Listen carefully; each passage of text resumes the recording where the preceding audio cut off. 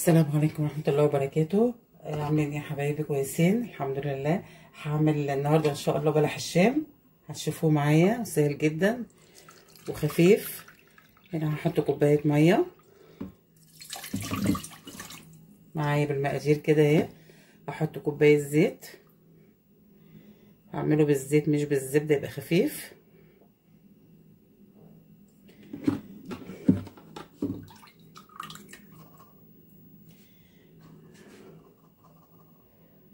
تمام؟ أحط معلقة سكر كبيرة كده دول معلقة صغيرة بحط هنا معلقة كده.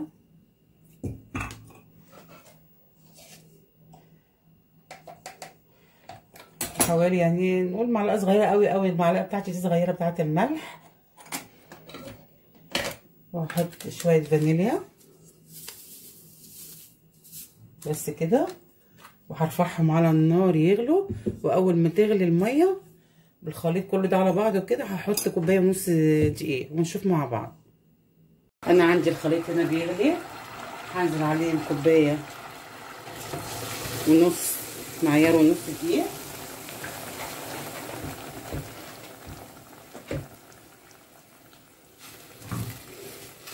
وأفضل أقلب فيهم لغاية يستووا معايا وتبقى كورة وتلف معايا.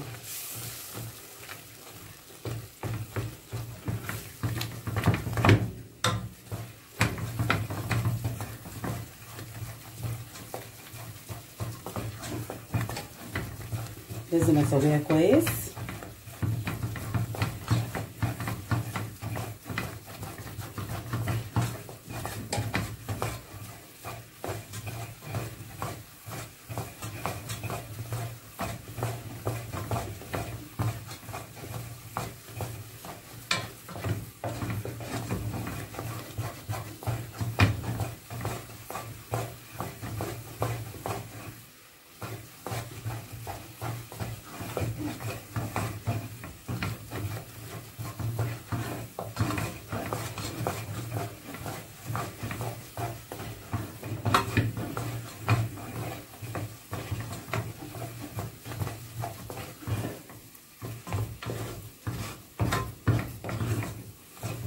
افضل أسوي فيها كده.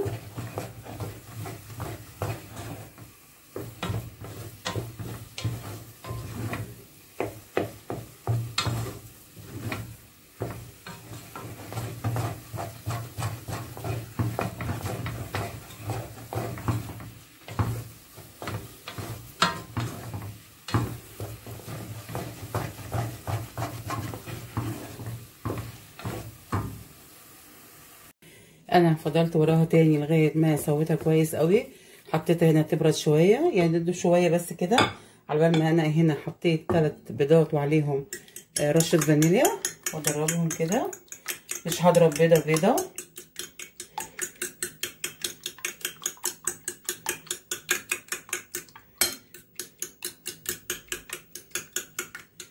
تمام وأنا بس هقلب هنا تاني الخليط لغاية ما يبرد معايا.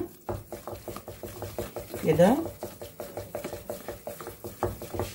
يا اضربه بالمعلقة يا هضربه بمضرب البيض.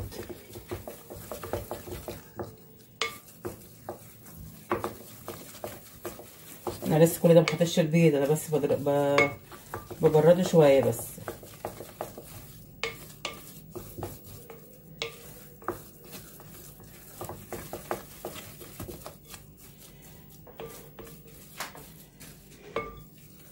لازم يهدى شوية عشان البيض ما يستواش فيه. أنا كده هنزل بالبيض.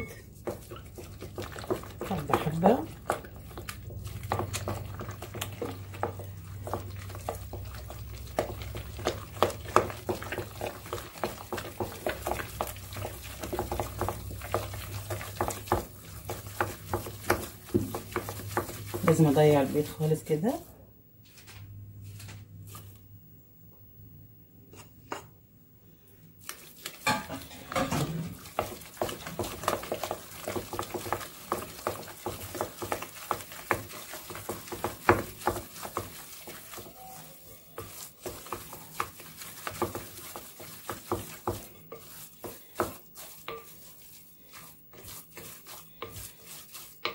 هو حلو قوي كده بس أنا هضربه ضربة بالمضرب بس كده وهوريه لكم عشان أنا ضربت شوية بالمضرب حتى ضربته بسلاح العجن مش بسلاح البيض.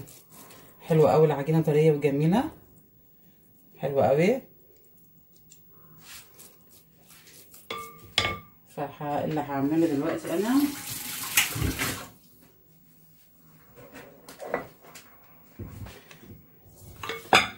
معايا هنا. أنا الكيس بتاع الحلواني. هحطه في كوباية هنا و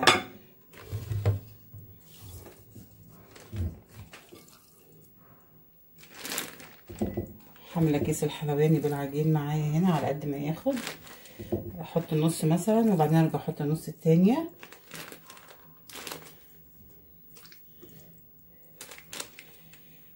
وهنزل بيه على زيت بارد. يعني يا دوب يعني مش زيت سخن يعني لو على النار بس يبقى بارد. أهو.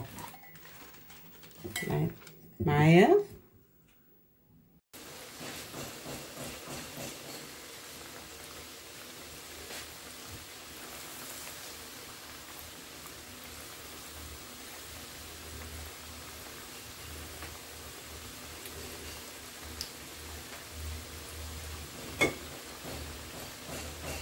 يحمر ونشوف مع بعض. أهو خلاص بدأ كده يحمر. بس أنا صبر عليه يغمق شوية. أنا هنا ده عاملاه صغير. المرة الجاية الطاسة الجاية إن شاء الله هعمله كبير شوية بإذن الله عشان أنا إيه يعني اللي ياخدها كده تبقى عايز كبيره عايز صغيرة. لسه شوية عايز زنقة شوية